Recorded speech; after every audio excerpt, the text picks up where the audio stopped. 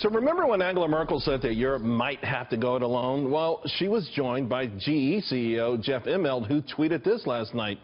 Disappointed with today's decision on the Paris Agreement, climate change is real. Industry must now lead and not depend on government. Now, you know, I think both of them sort of met those comments as threats, but wouldn't it be great if taxpayers stopped subsidizing nations and businesses? Here to discuss, Kristen Soltis Anderson. Peter Morici is back along with Matt Welch. Uh, Kristen, let me, let me ask you, uh, okay, I, you know, when they both make those comments, I kind of say to myself, okay, you go it alone and taxpayers, we get to keep our money. Look, it would be great for industry to take the lead on addressing issues with the environment. I'm somebody that thinks that markets are great for solving problems.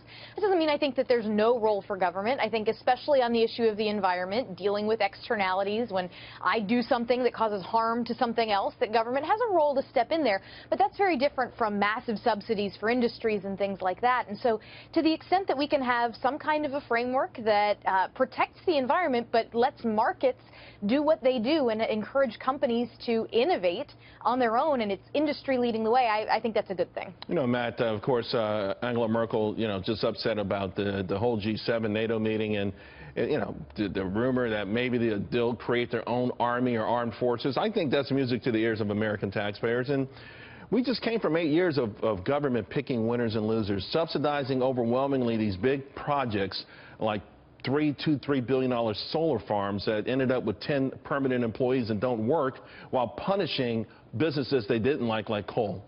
Angela Merkel, right, we've been uh, helping guarantee the peace and security of Western Europe for the last 70 years, and rightfully so. It's been a wonderful project. Uh, it's amazing to watch the political class absolutely freak out because she made these comments about how we can't completely rely on the U.S. to depend on our future and our fate. Well, you know what? That sounds kind of good. Donald Trump might have kind of blundered his way into that. He might have said silly things about the trade deficit with Germany, which I think are silly. However, Germany should be doing this. Emmanuel Macron should be the guy standing up to Vladimir Putin more than Donald Trump is. And you're absolutely right. We should not be picking winners and losers. The way to get cleaner, and this is well-observed trend anywhere with the environment, is to get richer. Richer countries uh, pollute less. Right now, we're kind of on target to go through and get to those uh, levels of the, of the, Paris Agreement that Barack Obama promised because of fracking, which you talked about earlier in the right. show. So don't do things that let you get less rich. Well, Peter, we've spent trillions of dollars uh, saving the world, uh, particularly protecting and saving Europe a couple of times. Uh, you know, they can't pay 2%. I don't know how they're going to raise the money for their own army, but certainly to me, again, it sounds like music to the ears of American taxpayers that all of these people are all of a sudden indignant over the fact that they can't get President Trump to put their agenda before America's.